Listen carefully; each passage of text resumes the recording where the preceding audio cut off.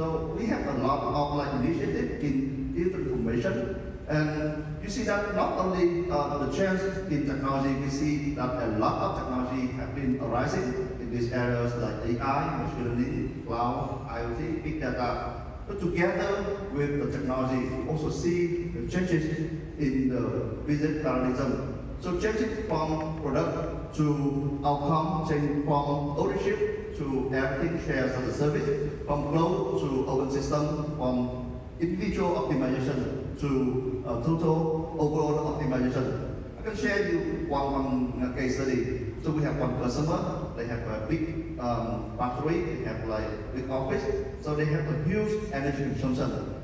Uh, every, uh, every year they pay like million of dollars for energy. So instead of uh, coming to them, uh, ask them to buy a solution to manage uh, the energy consumption and uh, optimize. So we provide